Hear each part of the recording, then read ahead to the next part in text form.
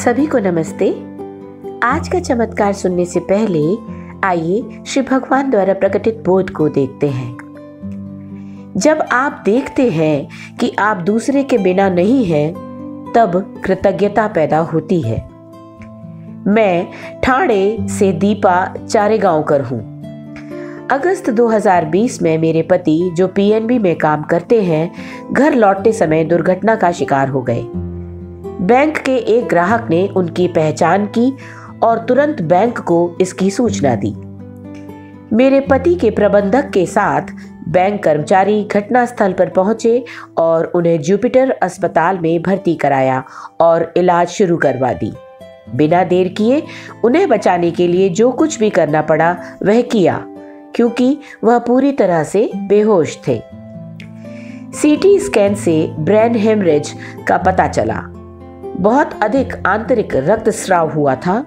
मस्तिष्क का केवल 60 परसेंट भाग ही कार्य कर रहा था। खोपड़ी में दरार और मस्तिष्क में सूजन के साथ डॉक्टर संकेत दे रहे थे कि स्मृति हानि की उच्च संभावना है। तीन दिन बाद एक और सीटी स्कैन के बाद सर्जरी सफलतापूर्वक की गई। मेरे पति को धीरे धीरे होश आया। हालाँकि उनके शरीर का एक हिस्सा लकवाग्रस्त हो गया था। डॉक्टर ने कहा कि वह लगभग छह से आठ महीने में ठीक हो सकते हैं। हम उन्हें घर ले आए।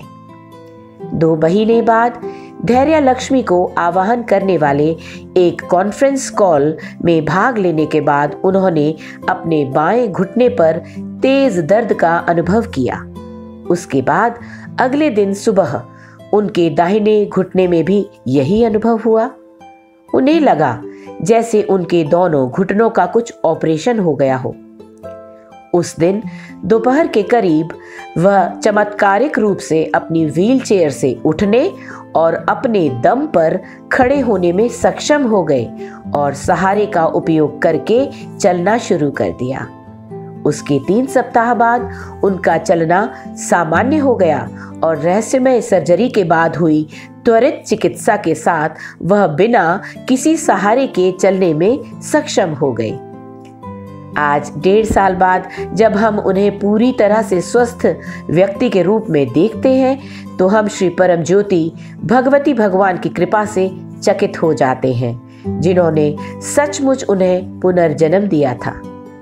किसी को विश्वास नहीं हो रहा था कि वह वही व्यक्ति है जिसका मस्तिष्क क्षतिग्रस्त हो गया था और एक साल पहले ही उन्हें लकवा मार गया था।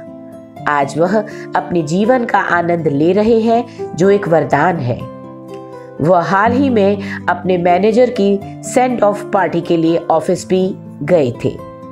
शक्तिशाली सुरक्षा कवच के लिए श्री परम ज्योति भगवती भगवान का बहुत बहुत धन्यवाद। आपने हमारे पूरे परिवार को आशीर्वाद दिया है।